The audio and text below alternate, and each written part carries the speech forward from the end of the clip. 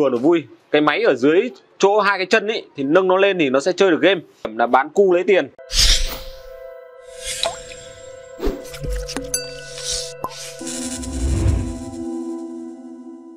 Chào bạn, hôm nay Tùng sẽ hướng dẫn và chia sẻ cho bạn một cái bên laptop và cái bệnh này khá gặp vì cái tỷ lệ Tùng gặp khá nhiều rồi. Vì vậy là Tùng sẽ làm video này chia sẻ cho bạn mong rằng nếu các bạn à, gặp cái laptop như này thì các bạn hãy để ý đến cái lỗi này trong quá trình các bạn sửa chữa. Đây nhá mã máy này.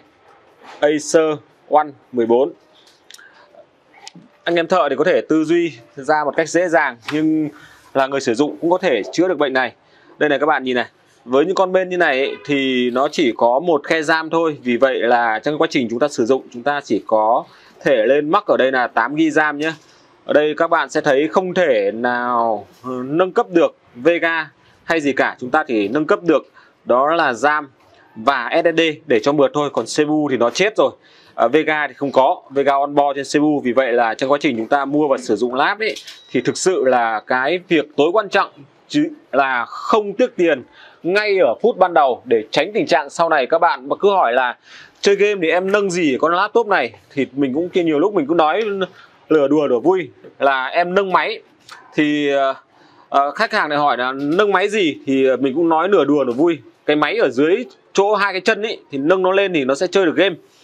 À, vì vậy là trong quá trình các bạn chọn lựa và mua laptop thì hãy chọn ngay từ lúc đầu để không phải nâng cấp về sau. Nó sẽ tốn kém hơn một chút nhưng nó đỡ làm khổ các bạn sau này là phải bán cả một con máy đi. À, sau câu, câu chuyện chém gió thì chúng ta sẽ đi vào chủ đề chính.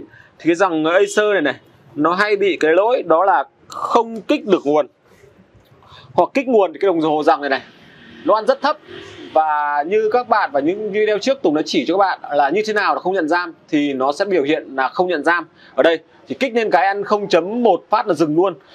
À, vì đây là dòng CPU on board vì vậy là cái cường độ dòng điện ăn ở đây sẽ là rất thấp nó không như dòng khác. Cái này đòi hỏi chúng ta có một chút à, trải nghiệm thực tế.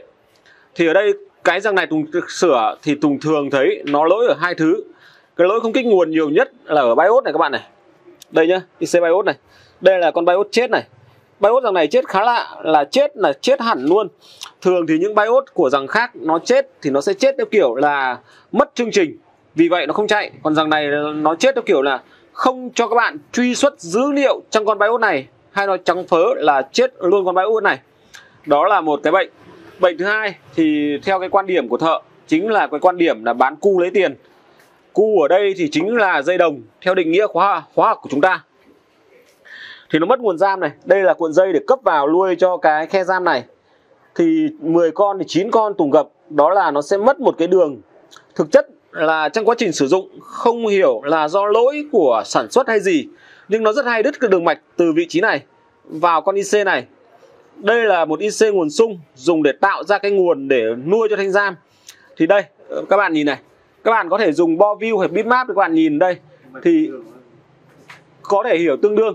Vì đây là mình đang sử dụng trên chung một con IC à, thì nó sẽ mất một cái chân. Đó là chân enable cho con IC nguồn ra hoạt động. Thì, thì đây mình sẽ cố gắng để bắt nét cho các bạn nhé. Để các bạn nhớ luôn vị trí. Vì con này không có sơ đồ.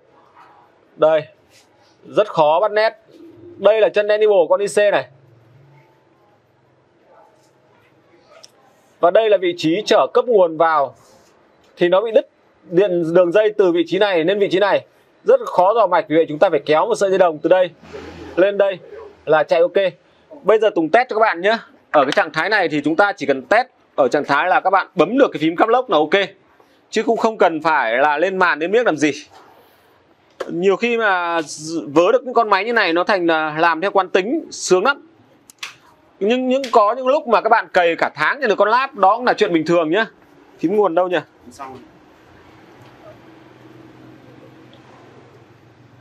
Đây, cảm ứng này cảm ứng chấm điểm này.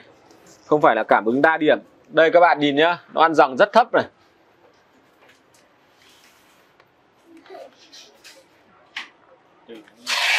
Cái rằng này rằng only ăn này nhiều lúc nó hơi ngu ngu vì vậy là chúng ta phải ăn trực nằm chờ đợi nó một tí thì nó mới lên chứ không phải là nó chạy với tốc độ phi mã là nó có thể lên luôn cho các bạn.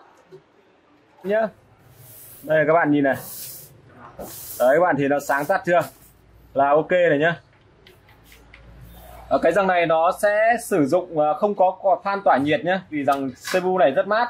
À, vì vậy ở đây chúng ta có một kinh nghiệm đơn giản mà mình chia sẻ với các bạn như sau để trong sau này các bạn sửa chữa này. À, bất kể các cuộn dây này này. Đây mình viết cái này là chữ L nhé là cuộn dây nhá thì trước cuộn dây nó sẽ có một con IC đây chính là con IC này. Được chưa ạ? Thì à, trước con IC nó sẽ có một con trở như này có giá trị không ôm. Và ở đây thường nó sẽ cấp nguồn 3,3V vào. Đây là mặc định quy tắc của thế giới nhé các bạn sẽ tìm được. Và cái chân này nó sẽ có ký hiệu chữ cái là chữ N hoặc chữ VTT trong quá trình các bạn sửa chữa.